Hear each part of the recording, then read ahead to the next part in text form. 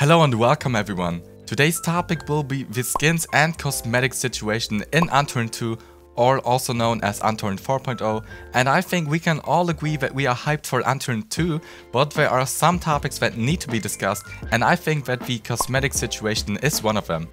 In this video I will talk about how the implementation of cosmetics and skins will possibly be different in Unturned 2 and talk about our current skin situation. First of all, you may ask yourself, but what will happen to my skins when Unturned 2 comes out? Well, we know that current Unturned and Unturned 2 are separate games on Steam, resulting in two different Steam inventories. That means you won't have your current skins in Unturned 2, but you can still use them in Unturned 3.0. Furthermore, the new Unturned will have a new game engine and that leads to more complex and detailed weapon models, meaning that most skins from current Unturned won't fit to the new gun models. This is because most skins have a texture specifically designed for the weapon model, especially workshop skins, and because of that they can't be transferred over that easily.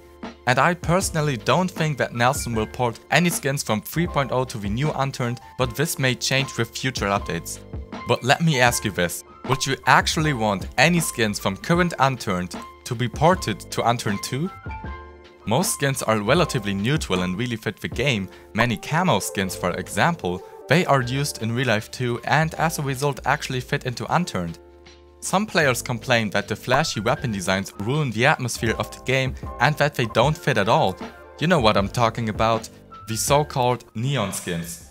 Ever since the day that the curated workshop was implemented there has been a steady flow of so-called neon skins to the point where most people simply had enough of them.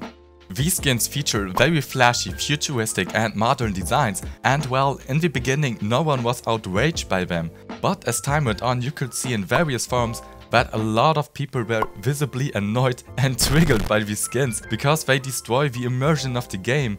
And I mean that's kind of true, you're playing a zombie apocalypse survival game and some people run around with weapons which look like they came from the newest Nerf collection. But each to their own, we also have to keep in mind that not everybody hates those skins. There's also a group of people which like them, meaning that Nelson has to find a way to please both sides. Or maybe he actually doesn't need to because Nelson said in a dev blog that Unturned 2 will be completely free to play without any in-game purchases, cosmetics and skins. Taking that into consideration, I think that Nelson will possibly try a new type of cosmetic implementation in Unturned 2 where we don't have to buy our skins, but rather get them via in-game achievements or missions. But that leaves one question. How is he gonna pay all the game costs if the only way to support him is a single gold membership payment we can only do once? Other than that, we have no way of supporting Nelson financially. Players noticed this and questioned him about this problem on his forum and in April of 2018 he wrote in his community forum that he is seriously considering an economy redesign. So as of right now it's kinda unclear what Nelson is aiming for. Two possible scenarios would be A. We will have no buyable skins at all or B. We will get realistic looking skins at most. We know that he's trying to make the survival the main part of Unturned 2 as opposed to current Unturned's PvP meta and that means he will try to keep the game realistic in terms of design. As a consequence, we definitely won't get flashy skins as a result, but instead maybe get weathered and rustic looking cosmetics or even some of the camos we've seen in Unturned. And I personally think that this is the way to go, since Unturned is a zombie survival game, keeping the immersion is kinda important.